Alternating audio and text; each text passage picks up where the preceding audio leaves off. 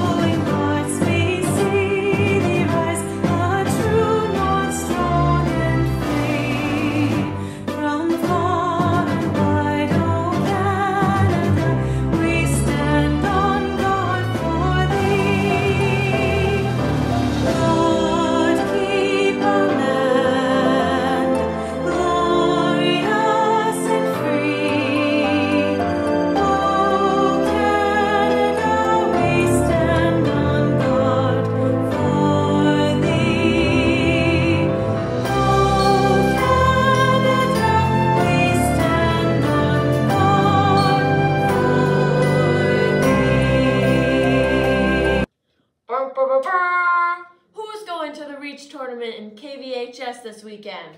NHS reach for the top. Good luck! There'll be a 305 to 5 practice today for senior boys. Good luck to the senior boys at their 11 a.m. game on Saturday in McAdam. Best of luck to the hockey team as they play Polyvalent Roland Pepin in Campbellton at 7 p.m. and Polyvalent AJ Savoie on Sunday at 2 p.m.